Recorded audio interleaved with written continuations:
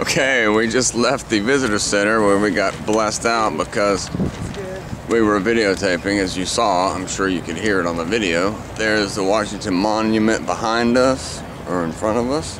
We're gonna walk down there, walk around it, read.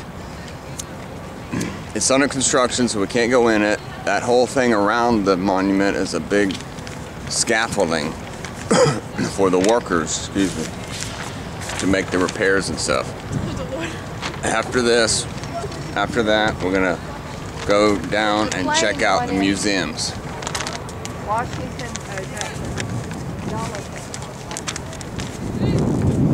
Look, he circled everything